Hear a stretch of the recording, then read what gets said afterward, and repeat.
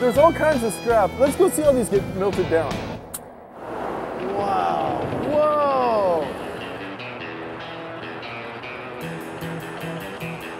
I gotta give you this so you can hold it in front of your eyes. Okay, eyes. cool. Thank you. Safety here is really important, and these glasses will help protect my eyes. We're gonna take the scrap and put it into a bucket. Then we lift this bucket up with a big crane, and then we open the bottom of the bucket and all the scrap dumps into the furnace. Oh my God. That's about, what, 3,000 degrees inside there? Yeah, we have 2950, I just rounded up. 2950. Rolling. Whoa.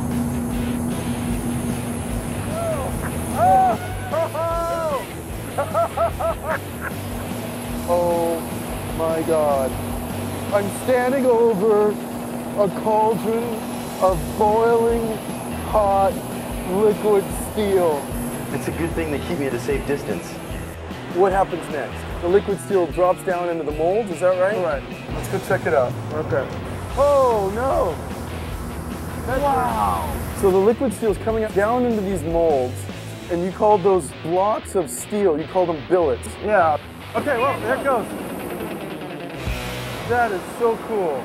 Yeah, that's the steel light out here.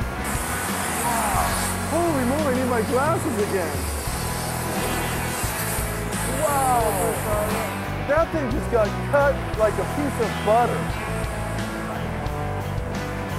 Wow.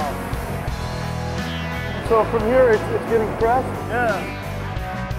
See, this is fire rock he's making right now.